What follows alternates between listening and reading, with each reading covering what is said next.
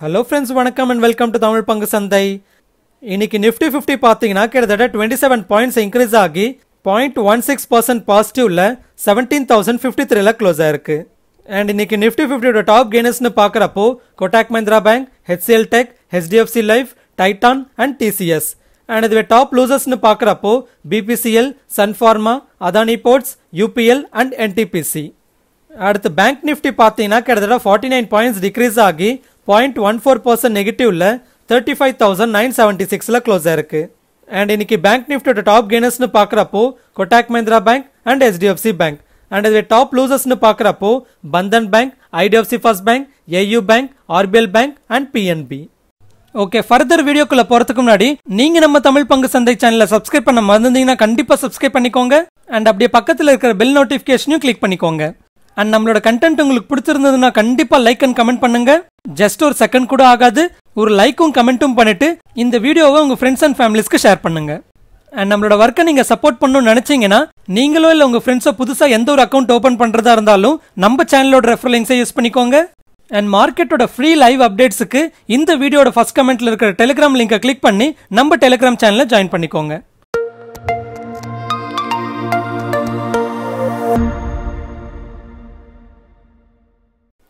Okay first வந்து ரிலையன்ஸோட அப்டேட்டை பார்க்கலாம்.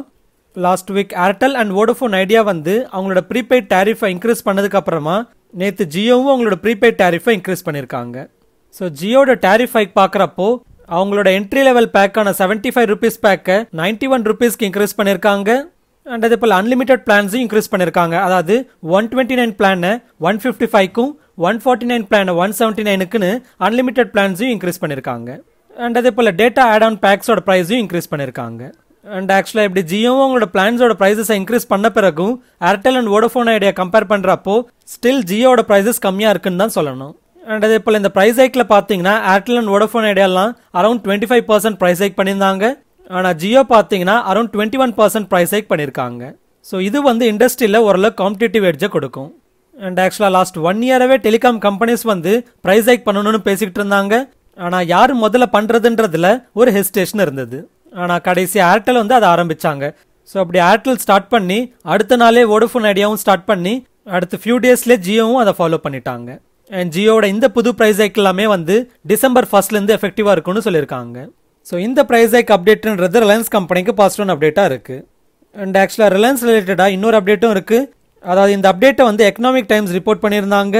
ஸோ அப்படி என்ன அப்டேட் பண்ணியிருக்காங்கன்னு பார்க்குறப்போ ரிலையன்ஸ் கம்பெனி வந்து பிரிட்டிஷ் டெலிகாம் குரூப்பான பிடி கம்பெனியில் கண்ட்ரோலிங் ஸ்டேக் அக்வயர் பண்ணுறதுக்கு பார்த்துட்டு இருக்கிறதா அப்டேட் பண்ணியிருக்காங்க அண்ட் இதே போல் ரிலையன்ஸ் கம்பெனி வந்து இந்த பிடி குரூப்போட நெட்ஒர்க்கிங் கம்பெனியான ஓப்பன் ரீச்சோட ஃபைபர் எக்ஸ்பென்ஷன் பிளானையும் ஃபண்ட் பண்ணி பார்ட்னர் ஆகிறதுக்கு பார்த்துட்டு இருக்கிறதா அப்டேட் பண்ணியிருக்காங்க ஆனால் ரிலையன்ஸ் இண்டஸ்ட்ரீஸ் வந்து இந்த நியூஸ் ரிப்போர்ட்டை ரிஜெக்ட் பண்ணியிருக்காங்க அதாவது எக்கனாமிக் டைம்ஸ் ரிப்போர்ட் பண்ண இந்த ஆர்டிக்கல் வந்து கம்ப்ளீட்லி பேஸ்லெஸ் அண்ட் ஸ்பெகுலேட்டிவ்னு சொல்லியிருக்காங்க அண்ட் ஓவரால் இன்னைக்கு ரிலையன்ஸோட ஷேர் ப்ரைஸ் வந்து around one point two percent பாசிட்டிவில் close ஆயிருக்கு ஓகே அடுத்து அதானி போர்ட்டோட அப்டேட்டை பார்க்கலாம்.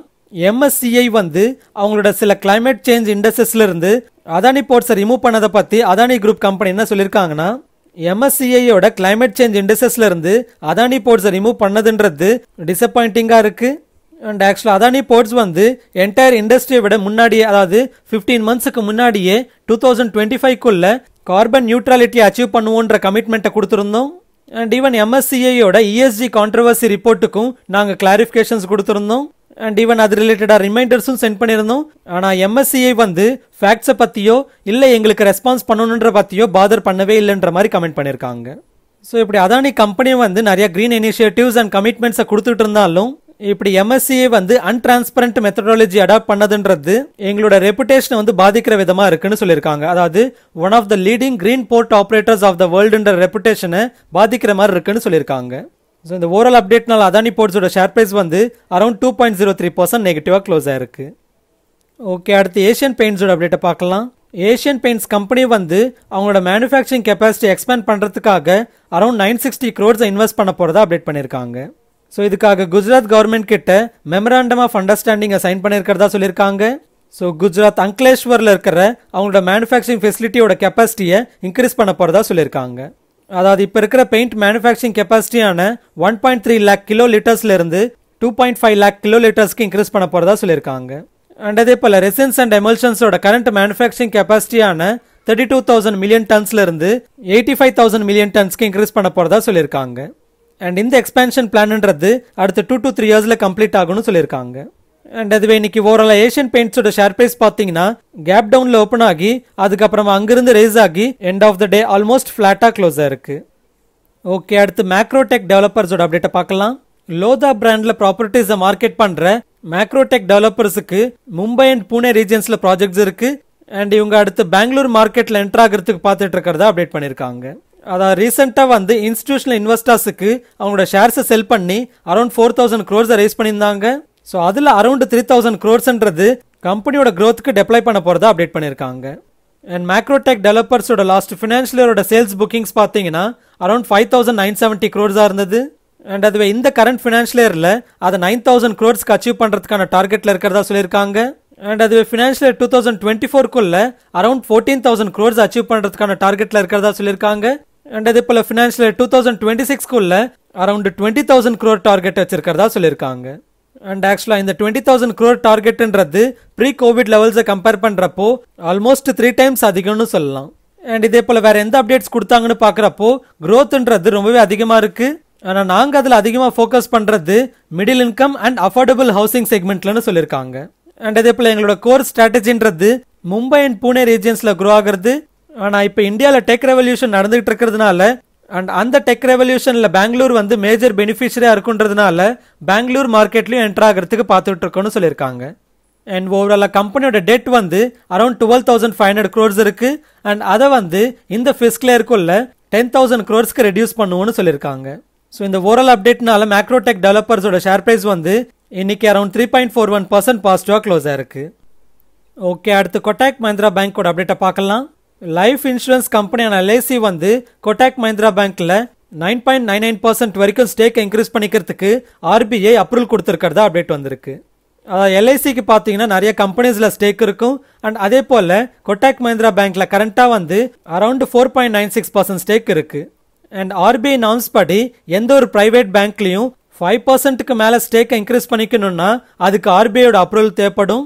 ஸோ அப்படி எல்ஐசிக்கு கரண்டாக இருக்கிற four point nine six percent ஸ்டேக்ல இருந்து nine point nine nine percent வரைக்கும் ஸ்டேக்கை இன்க்ரீஸ் பண்ணிக்கிறதுக்கு ஆர்பிஐ அப்ரூவல் கொடுத்துருக்கிறதா கொட்டாக் மஹிந்திரா பேங்க் வந்து எக்ஸ்சேஞ்ச் ஃபைலிங்ஸில் அப்டேட் பண்ணியிருக்காங்க ஸோ இந்த அப்டேட்னால கொட்டாக் மஹிந்திரா பேங்கோட ஷேர் ப்ரைஸ் வந்து around two point eight two percent பாசிட்டிவாக க்ளோஸ் ஆயிருக்கு அண்ட் ஆக்சுவலாக கொட்டாக் மஹிந்திரா பேங்க்குக்கும் அண்ட் இதே போல் இண்டஸ்இன் பேங்க்கும் இன்னொரு பாசிட்டிவ் அப்டேட் என்னன்னு பார்க்குறப்போ ஆர்பிஐ வந்து ரீசெண்டாக பேங்க்கோட ஓனர்ஷிப் ரிலேட்டடாக சில ரூல்ஸை வந்து அப்டேட் பண்ணியிருந்தாங்க அதாவது ஒரிஜினல் ரூல் படி பேங்க்கோட ப்ரமோட்டர்ஸ் வந்து அந்த பேங்க்ல ஒரு கட்டத்துக்கு அப்புறமா ஃபிஃப்டீன் பர்சன்ட்க்கு மேலே ஸ்டேக்கை ஹோல்ட் பண்ணக்கூடாதுன்னு ஒரு ரூல் இருக்கு.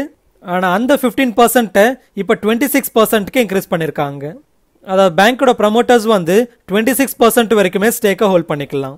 ஸோ இது வந்து கொட்டாக் மஹிந்திரா பேங்க்குக்கு எப்படி பாசிட்டிவாக இருக்கும்னு பார்க்குறப்போ கொட்டாக் மஹிந்திரா பேங்க்கோட ப்ரமோட்டர்ஸுக்கு பார்த்தீங்கன்னா அந்த பேங்க்கில் கரண்ட்டாக வந்து டுவெண்ட்டி சிக்ஸ் பர்சன்ட் ஸ்டேக் இருக்குது ஸோ ஆக்சுவலாக இந்த ஆர்பிஐ வந்து இந்த புது நாம்ஸை கொண்டு வரலன்னா பழைய நாம்ஸ் படி கொட்டாக் மஹிந்திரா பேங்க்கில் ப்ரமோட்டர் வந்து ஃபிஃப்டீன் பர்சன்ட்டுக்கு ஸ்டேக்கை குறைச்சிக்கணுன்றதுக்காக அவங்களோட ஸ்டேக்கை வந்து அவங்க செல் பண்ண வேண்டியதாக இருந்திருக்கும்.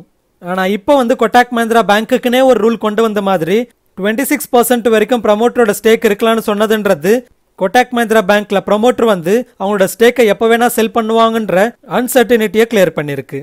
அண்ட் அதே போல் இண்டஸ்இன் பேங்கோட ப்ரமோட்டரும் பார்த்தீங்கன்னா இண்டஸ்இன் பேங்க்ல அவங்களோட ஸ்டேக்கை இன்க்ரீஸ் பண்ணிக்கிறத பற்றி ஆர்பிஐ கிட்ட நிறைய வாட்டி ரிக்வஸ்ட் பண்ணியிருந்தாங்க. அதாவது ஃபிஃப்டீன் பர்சன்ட்டுக்கும் மேலே ஸ்டேக்கை இன்க்ரீஸ் பண்ணிக்கிறதுக்கு ஆர்பிஐ கிட்ட நிறைய வாட்டி ரிக்வஸ்ட் பண்ணியிருந்தாங்க.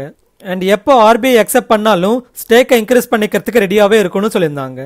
ஸோ இப்போ ஆர்பிஐ பேங்க்ஸோட ப்ரமோட்டர்ஸ் டுவெண்ட்டி சிக்ஸ் பர்சன்ட் வரைக்கும் ஸ்டேக்கை வச்சுக்கலாம்னு சொன்னதுன்றது இண்டஸ்இன் பேங்க்குக்கு பாசிட்டிவ் அப்டேட்டாக இருக்குது ஆனால் இண்டஸ்இன் பேங்க் ரிலேட்டடாக இன்னொரு அப்டேட்டும் வந்திருக்கு. அதாவது இண்டஸ்இன் பேங்கோட மைக்ரோ ஃபினான்ஸ் கம்பெனியான பாரத் ஃபினான்ஷியல் இன்க்ளூஷனோட சிஇஓ அண்ட் சிஎஃப்ஓ வந்து டுவெண்ட்டி ஃபிஃப்த் நவம்பர் போர்டுக்கு ரெசிக்னேஷன் அனுப்பியிருக்கிறதா சொல்லியிருக்காங்க. அண்ட் அந்த கம்பெனியில் நடந்துகிட்டு இருக்கிற சில ஆன்கோயிங் ரிவ்யூஸுக்கும் அவங்களோட அசிஸ்டன்ஸை கொடுப்போம்னு சொல்லியிருக்காங்க. அதாவது அரௌண்ட் மே பார்த்தீங்கன்னா கிட்டத்தட்ட எயிட்டி ஃபோர் தௌசண்ட் லோன்ஸ் வந்து கஸ்டமரோட கன்சென்ட் இல்லாமலே டிஸ்பர்ஸ் ஆயிருக்கு. ஸோ இப்படி loan ever greening whistle blower allegation வந்ததுனால இண்டஸ்இன் பேங்க்கும் இண்டிபெண்ட் இன்வெஸ்டிகேஷனை இனிஷியேட் பண்ணியிருந்தாங்க.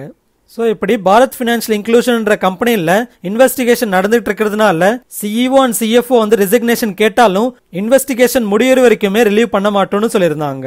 ஆனால் இப்போ வந்து போர்டு ரிலீவ் பண்ணுறதுக்கு ஓகே சொல்லியிருக்கிறதா அப்டேட் வந்திருக்கு. அண்ட் அடுத்து பேங்க் வந்து பாரத் ஃபினான்ஷியல் இன்க்ளூஷனோட எக்ஸிக்யூட்டிவ் டைரக்டரா ஜே ஸ்ரீதரனை வந்து அப்பாயிண்ட் பண்ணியிருக்காங்க. அண்ட் இவருக்கு பேங்க்ல ஃபினான்ஸ் அண்ட் கவர்னன்ஸை மேனேஜ் பண்ணுறதுல டுவெண்ட்டி இயர்ஸ் எக்ஸ்பீரியன்ஸ் இருக்கிறதா அப்டேட் பண்ணியிருக்காங்க. அண்ட் அதே போல ஸ்ரீனிவாஸ் போனம பிஎஃப்ஐஎல்லோட டே டு டே ஃபங்க்ஷனிங்கை ஓவர்சி பண்ணுறதுக்கு அப்பாயிண்ட் பண்ணியிருக்கிறதா சொல்லியிருக்காங்க. ஸோ இந்த ஓரல் அப்டேட்னால இண்டஸ்இன் பேங்கோட ஷேர் ப்ரைஸ் வந்து இன்னைக்கு அரௌண்ட் பாயிண்ட் செவன் பர்சன்ட் நெகட்டிவாக க்ளோஸ் ஆயிருக்கு. ஓகே அடுத்து நம்மளோட சேனலில் லாஸ்ட்டாக அப்லோட் பண்ணியிருக்கிற நவம்பரோட ப்ராஃபிட் அண்ட் லாஸ் வீடியோ பார்த்து என்னோட ட்ரேடிங்கான மார்ஜினை செக்யூரிட்டிஸை பிளேஸ் பண்ணி அதோட கொலெட்ரலை யூஸ் பண்ணிக்கிறேனா? இல்லை கேஷாகவே வச்சுக்கிட்டு அதை யூஸ் பண்ணி ட்ரேட் பண்ணுறானான்னு கேட்டிருந்தீங்க? ஆக்சுவலாக நம்மளோட பிளெட்ஜிங் வீடியோ பார்த்துருந்தாலே உங்களுக்கு புரிஞ்சிருக்கும். என்னோட செல் அக்கௌண்ட் அதாவது ஸ்பெசிஃபிக்காக வந்து ஜீரோதா அக்கௌண்ட்டில் லிக்விட் மியூச்சுவல் ஃபண்டை பிளெச் பண்ணி அதோட கொலட்டரில் என்னோட ட்ரேடிங்க்கான மார்ஜினாக ஃபுல்லாக யூஸ் பண்ணிப்பேன். ஆக்சுவலாக ஜீரோதா போல ப்ரோக்கரேஜஸ் வந்து லிக்விட் ஃபண்ட் மாதிரி சில செக்யூரிட்டிஸை பிளெச் பண்ண கொலட்டரில் தான் ஃபுல்லாக மார்ஜினுக்கு யூஸ் பண்ணிக்கிறதுக்கு அலோவ் பண்ணுறாங்க அண்ட் அது ஸ்டாக்ஸோ இல்லை மற்ற மியூச்சுவல் ஃபண்டை நீங்கள் பிளெச் பண்ணிங்கன்னா அதோட கொலட்ரில் உங்களால் ஃபுல்லாக உங்களோட ட்ரேடிங்க்கான மார்ஜினாக யூஸ் பண்ணிக்க முடியாது. ஸோ அதுக்காக தான் என்னோட செல் அக்கௌண்ட்டில் நான் வந்து ஃபயர்ஸை யூஸ் பண்ணுறேன் அதாவது ஃபயர்ஸில் பார்த்தீங்கன்னா நீங்கள் எந்த செக்யூரிட்டிஸை பிளெஜ் பண்ணாலும் அதோட ஹண்ட்ரட் பர்சன்ட் கொலேட்டரில் உங்களோட ட்ரேடிங்க்கான மார்ஜினை யூஸ் பண்ணிக்கலாம்.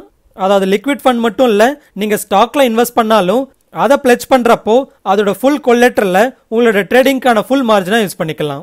அதாவது ஃபார் எக்ஸாம்பிள் நீங்கள் ஐடிசியில் இன்வெஸ்ட் பண்ணியிருந்தாலும் அந்த ஐடிசியை வந்து பிளெஜ் பண்ணி அதோட கொலெட்டரில் உங்களோட ட்ரேடிங்க்கான மார்ஜினாக நீங்கள் ஃபுல்லாகவே யூஸ் பண்ணிக்கலாம்.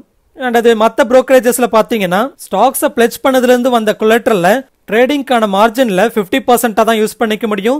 And rest fifty percent of the மார்ஜின்ஸை உங்களோட ட்ரேடிங் அக்கௌண்ட்டில் இருக்கிற கேஷ்ல இருந்து ப்ரொவைட் பண்ணணும். அண்ட் ஆக்சுவலாக இதே போல் ஃபயர்ஸில் பார்த்தீங்கன்னா பிளெஜ் பண்ணுறதுக்கும் அன்பிளெஜ் பண்ணுறதுக்கும் எந்த ஒரு சார்ஜஸும் இல்லை. ஸோ பிளெஜிங்கும் பார்த்தீங்கன்னா ரொம்பவே சீம்லெஸ்ஸாக இருக்கும். அதாவது இன்னைக்கு பிளெஜ் பண்ணிங்கன்னா அதோட கொலெட்டரில் வந்து நாளைக்குலேருந்து யூஸ் பண்ணிக்கலாம். அண்ட் அதுவே அன்பிளெஜ் பண்ணிங்கன்னா அடுத்த நாள்ல இருந்து அந்த கொலேட்டரல் அமௌண்ட் வந்து டிசப்பயர் ஆகிடும் அண்ட் இதே போல் ஃபயர்ஸில் எனக்கு பிடிச்ச இன்ஃபர்மேஷன் பார்க்குறப்போ அக்கௌண்ட் ஓப்பனிங் வந்து ஃப்ரீயாக இருக்கும். ஜீரோதலெல்லாம் பார்த்தீங்கன்னா two hundred or three hundred rupees account opening ஃப்ரீயாக இருக்கும். அண்ட் இதே ஃபயர்ஸில் வந்து அக்கௌண்ட் ஓப்பனிங் ஃப்ரீ அண்ட் அதே போல் ஏஎம்சி சார்ஜஸும் பார்த்தீங்கன்னா லைஃப் டைம் ஃப்ரீயாக ப்ரொவைட் பண்ணுறாங்க அதாவது எங்ககிட்ட அக்கௌண்ட் ஓப்பன் பண்ணீங்கன்னா ஏஎம்சி சார்ஜஸ்ன்றது லைஃப் லாங் இருக்காது. பொதுவாக ஆனுவல் மெயின்டெனன்ஸ் சார்ஜ்னு அரௌண்ட் த்ரீ ஹண்ட்ரட் ருபீஸ் வந்து மற்ற ப்ரோக்கரேஜஸில் கலெக்ட் பண்ணுவாங்க. ஸோ அப்படி வருஷம் வருஷம் கலெக்ட் பண்ணுற ஆனுவல் மெயின்டெனன்ஸ் சார்ஜஸ்ன்றது இந்த ஃபயர்ஸில் சுத்தமாக இருக்காது. ஸோ நீங்கள் அக்கௌண்ட் வந்து ஃப்ரீயாகவே ஓப்பன் பண்ணிக்கலாம். அண்ட் ஒரு ஸ்டேஜுக்கு அப்புறமா அந்த அக்கௌண்ட் தேவையில்லைன்னு நினச்சாலும் நீங்கள் அதை எதுவுமே பண்ணாமல் அப்படியே விட்டுட்டாலும் எந்த ஒரு சார்ஜஸும் உங்களுக்கு இருக்காது. அண்ட் இதே போல் எனக்கு பிடிச்ச இன்னொரு அப்டேட்னு பார்க்குறப்போ தேர்ட்டி டே சேலஞ்ச் அதாவது ஃபயர்ஸில் நீங்கள் தேர்ட்டி ட்ரேடிங் டேஸ்க்கு அப்புறமா நெட் ப்ராஃபிட்டில் இருந்தீங்கன்னா அந்த தேர்ட்டி ட்ரேடிங் டேஸில் உங்ககிட்ட கலெக்ட் பண்ண ப்ரோக்கரேஜ் சார்ஜஸை உங்களுக்கே ரீஃபண்ட் பண்ணிடுவாங்க. ஸோ ப்ரோக்கரேஜ் சார்ஜஸும் பார்த்தீங்கன்னா ஆல்மோஸ்ட் சேம் ஆஸ் மற்ற ப்ரோக்கர்ஸ் மாதிரி தான் இருக்கும். அண்ட் ஒருவேளை நெட் ப்ராஃபிட்டாக இருந்தீங்கன்னா உங்களோட ப்ரோக்கரேஜ் சார்ஜஸும் உங்களுக்கே ரீஃபண்ட் ஆகிடும் ஸோ நீங்களும் ஃபயர்ஸில் அக்கௌண்ட் ஓப்பன் பண்ணணும்னு நினச்சிங்கன்னா இந்த வீடியோட டிஸ்கிரிப்ஷனில் இருக்கிற லிங்கை கிளிக் பண்ணி அக்கௌண்ட்டை க்ரியேட் பண்ணிக்கோங்க. அண்ட் அப்படியே ஃபயர்ஸ் ஆர் மற்ற ப்ரோக்கரேஜஸ் பார்த்து இன்னும் டீட்டெயில்டு இன்ஃபர்மேஷன் தெரிஞ்சுக்கணும்னா நம்ம சேனலில் இருக்கிற ட்ரேடிங் அண்ட் டிமேட் அக்கௌண்ட்டுன்ற பிளேலிஸ்ட்டோட வீடியோஸை ரெஃபர் பண்ணிக்கோங்க. ஓகே அடுத்து சவரன் கோல்ட் பாண்ட்ஸோட அப்டேட்டை பார்க்கலாம். இந்த வருஷத்தோட சவரன் கோல்ட் பாண்ட்ஸோட எயித்து சீரீஸை இப்போ லான்ச் பண்ணியிருக்காங்க ஸோ இந்த சவரன் கோல்ட் பாண்ட்ஸை இன்னைக்குலேருந்து அதாவது நவம்பர் டுவெண்ட்டி நைன்த்லேருந்து டிசம்பர் தேர்டுக்குள்ளே நீங்கள் அப்ளை பண்ணிக்கலாம். அண்ட் இந்த எயித்து சீரிஸோட எஸ்ஜிபியோட இஷ்யூ ப்ரைஸ் பார்த்தீங்கன்னா அதாவது நீங்கள் ஆன்லைன் அண்ட் டிஜிட்டல் மோடில் அப்ளை பண்ணிங்கன்னா உங்களுக்கு ஃபிஃப்டி ருபீஸ் டிஸ்கவுண்ட் பண்ணி ஒரு கிராமோட இஷ்யூ ப்ரைஸ் வந்து four thousand seven forty one ருபீஸாக இருக்கும். ஸோ இந்த எஸ்ஜிபிஸில் அப்ளை பண்ணணும்னு நினச்சிங்கன்னா நீங்கள் எந்த ப்ரோக்கர் அக்கௌண்ட் யூஸ் பண்ணுறீங்களோ அந்த அக்கௌண்ட்ல இருந்து இந்த ஃப்ரைடேக்குள்ளே அப்ளை பண்ணிக்கலாம். ஆர் ஈவன் நிறைய பேங்க்ஸோட நெட் பேங்கிங்லையும் இதை அப்ளை பண்ணிக்கலாம். அண்ட் அதே போல் எஸ்ஜிபிஸோட பழைய சீரிஸ் எல்லாமே பார்த்தீங்கன்னா ஆல்ரெடி மார்க்கெட்டில் லிஸ்ட்டாக இருக்கும். ஸோ அப்படி அதை வாங்கணும்னு நினச்சிங்கன்னா செகண்டரி மார்க்கெட்லேயே அதாவது உங்களோட ப்ரோக்கர் அக்கௌண்ட்லேயே வாட்ச் லிஸ்ட்டில் சர்ச் பண்ணியே நீங்கள் வாங்கிக்கலாம். ஆனால் அப்படி செகண்டரி மார்க்கெட்டில் வாங்குற எஸ்ஜிபிஸ் எல்லாமே பார்த்தீங்கன்னா லிக்விடிட்டி கம்மியாக இருக்குன்றதை நீங்கள் கவனிக்கணும். அதாவது பயர்ஸ் அண்ட் செல்லர்ஸ் எல்லாமே பார்த்தீங்கன்னா கொஞ்சம் தூர தூரமாக இருப்பாங்க. ஸோ இப்படி லிக்விட்டி கம்மியாக இருக்கிறதுக்கான இம்பாக்ட் எப்படி இருக்கும்னா நீங்கள் பை பண்ணணும்னு நினைக்கிறப்போ ஆக்சுவல் ப்ரைஸ் விட கொஞ்சம் அதிகமான ப்ரைஸில் பை பண்ண வேண்டியதாக இருக்கும். அண்ட் இதே போல் பை பண்ணிட்டு செல் பண்ணுறப்பவும் ஆக்சுவல் ப்ரைஸ் விட பையர்ஸ் வந்து கொஞ்சம் கம்மியான ப்ரைஸில் இருக்கிறதுனால கம்மியான ப்ரைஸாக செல் பண்ண வேண்டியதாக இருக்கும். ஓகே அடுத்து நாளைக்கு வந்து கோ ஃபேஷனோட ஐபிஓ வந்து மார்க்கெட்டில் லிஸ்ட் ஆக போகுது. அண்ட் இன்னைக்கு கிரே மார்க்கெட் டிமாண்ட் படி பார்க்குறப்போ இதோட லிஸ்டிங் கெயின்ஸ் வந்து அரௌண்ட் செவன்ட்டி பர்சன்ட் இருக்கும்னு எதிர்பார்க்கலாம். ஆனால் இது ப்ளஸ் ஆர் மைனஸ் அப்படியும் இப்படியும் போகலாம். ஏன்னா ஓவரால் மார்க்கெட்டோட சுச்சுவேஷனுக்கு தகுந்த போலவும் ஐபிஓட லிஸ்டிங் கெயின்ஸ் மாறுன்றதை நீங்கள் புரிஞ்சுக்கணும். ஓகே அடுத்து எஃப்ஐஎஸ் அண்ட் டிஐஎஸோட டேட்டா பார்க்கலாம். இன்னைக்கு எஃப்ஐஎஸ் வந்து கிட்டத்தட்ட three thousand three thirty two க்ரோர்ஸ்க்கு net selling பண்ணியிருக்காங்க அண்ட் அதுவே டிஐஎஸ் வந்து கிட்டத்தட்ட four thousand six hundred and eleven க்ரோர்ஸ்க்கு net buying பண்ணியிருக்காங்க ஓகே அடுத்து நாளைக்கு கவனிக்க போகிற நிஃப்டி அண்ட் பேங்க் நிஃப்டியோட சப்போர்ட் அண்ட் ரெசிஸ்டன்ஸ் லெவல்ஸை பார்க்கலாம். நிஃப்டியோட சப்போர்ட்னு பார்க்குறப்போ சிக்ஸ்டீன் தௌசண்ட் செவன் எயிட்டியில் பார்க்குறேன். அண்ட் அது ரெசிஸ்டன்ஸ் வந்து செவன்டீன் தௌசண்ட் டூ டெனில் பார்க்குறேன். அண்ட் அது பேங்க் நிஃப்டியோட சப்போர்ட்னு பார்க்குறப்போ தேர்ட்டி ஃபைவ் தௌசண்ட் த்ரீ ஃபார்ட்டியில் பார்க்குறேன். அண்ட் இது ரெசிஸ்டன்ஸ் வந்து தேர்ட்டி சிக்ஸ் தௌசண்ட் சிக்ஸ் செவன்ட்டியில் பார்க்குறேன். அண்ட் அடுத்த ஆப்ஷன் செயினோட டேட்டா பார்த்தீங்கன்னா என்எஸ்சியில் வந்து கரெக்டாக ரிஃப்ளெக்ட் ஆகலை. ஸோ அதனால் ஆப்ஷன் செயினோட அனாலிசிஸை இப்போத்துக்கு நம்ம பண்ண முடியாது.